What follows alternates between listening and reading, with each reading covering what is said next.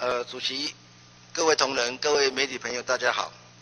财经杂志富比士目前公布了二零一二年全世界最适合经商国家的排名，在全球第一百一百四十一个国家里面呢，啊，我们台湾从去年的第二十六名大幅跃升到第十六名，韩国是二十九名，日本是第三十名。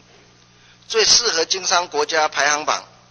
评比的项目包括了呃智慧财产权、创新、税制、科技、贪腐、自由度以及政府效能等等的指标。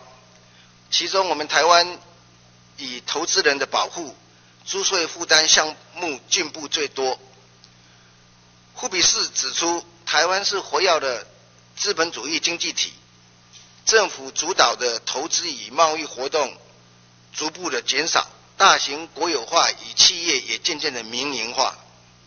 近几个月以来呢，许多国际机构的评比在代都显示出了我们台湾的竞争力、投资、经商环境的排名有进步。本席对于政府长期以来的努力，让台湾在国际上备受肯定，给予鼓励。但是可惜的是，我们台湾经济投资环境虽然在不断的进步与开放。但是我们台湾人才的外流现象却一直存在。根据《金周刊》经济合作发展组织 （OECD） 的报告，在两百多个调查国家及地区当中，台湾高技能人才外移人口的比例是世界第一，占了百分之六十一点多。所以，我们应该探究台湾人才外移的原因。未来市场的潜力、工作历练的机会、薪资上的考量等等，政府都应该有一些相关的措施来做补补救。另外，有一些专门制造问题的人，要求召开体制外的一个会议来解决问题。他们的目的一直都是要瘫痪我们政府的运作，累积自己的政治资源。